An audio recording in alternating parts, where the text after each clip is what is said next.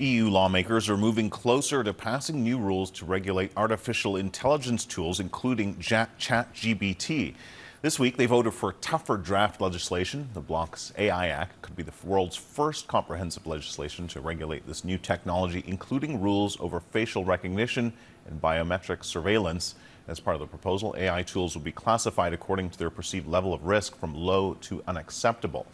Sarah Chander is a senior policy advisor at European Digital Rights, and she joins me now from Belgrade. Thanks so much for being here with us. And it's interesting to uh, to, to, get a look at what Europe is doing because it could uh, influence what's happening here in the U.S. So, just looking at the list of, of measures um, that they're taking, what are the two of the most important ones, do you think? I, I mean, certainly I highlighted one of them banning uh, using biometric ID in public. So, what else caught your eye?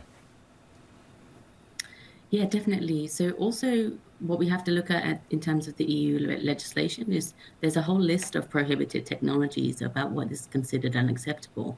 In addition to facial recognition, we've also seen predictive policing banned. So the idea that you uh, AI systems can predict where or by whom crime will happen before it's actually happened, that is banned under the the, the new EU AI Act and, and will be continue to be debated. Another thing that is a really big uh, win for civil society is um, increased transparency and accountability measures on high risk technology. Now, what that means is that if a government or if a company is seeking to deploy a, a system classified as high risk, for example, AI systems used to make decisions about welfare or access to jobs, for example, uh, the deployer of that system, the, the, the company or the government using that system will have to declare public information about using that system and also show that how it would mitigate the potential human rights impacts. Yeah, and, and predictive policing that you mentioned there is something that's been a, a hot button topic here in the U.S. and it's certainly being used uh, extensively in, in some cities. So what, what are two of the most uh, important misses here, do you think? What, what wasn't included that you think should have been? Definitely. So we've been looking into the uses of AI at the border um, particularly trying to predict where illegal migration is happening um, and also discriminatory risk profiles of migrants. We think that AI used the, in these technology in these contexts should be prohibited as well, and that's uh, uh, particularly uh, crucial for preserving the right to asylum um, and general rights of migrants, and that was not included in the list of prohibitions. Yeah, another uh, flaw. And another flaw is uh, the need for more accessibility requirements for people with disabilities. Many AI systems are increasingly used, and yet um, developers have not always have um, taken the right steps to ensure that everybody can use these systems, um, yeah. including people with disabilities. And, and, what about ChatGPT? I mean, that's certainly something that's been in the, in the headlines a lot here, uh, raised a lot of eyebrows as people sort of uh, come to terms with what, what with their capabilities. How would chatbots be regulated? So chatbots are regulated in two particular ways. Number one, uh, the, the draft legislation would require you to be informed if you're interacting with a chatbot, which is already important, uh, an important um, measure against disinformation or people being tricked into thinking that they are speaking to a human. So that's one step. But also, the legislation seeks to try to address the underlying issues with big, large language models under, underlying ChatGPT.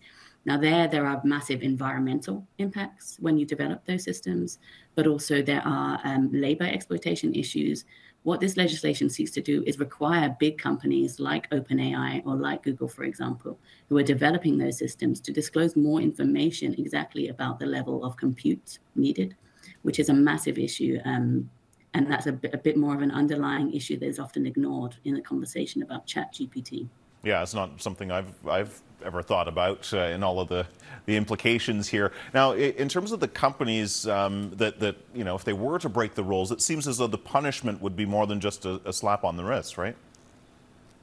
Definitely. So for some of the some of the requirements in the legislation, there is a fine that could actually actually potentially go up into the millions. So there's potential um, real accountability that is at stake here, but that depends on how the final piece of legislation is negotiated, which will probably happen at the end of this year. Yeah. Now, before we go, I want to ask you this because this is this is vital here for, for the U.S. I mean, the EU isn't a, a huge developer of, of uh, AI technology, but certainly what what happens in Europe often, um, you know, uh, gets passed down to to the U.S. Where you know things like uh, uh privacy issues uh, online and so on. Uh, what's happened in Europe has affected what's happened here in in America and in Canada elsewhere. So, how do you think that what is happening in Europe might might might trickle down and we might see uh, some of that regulation be replicated elsewhere.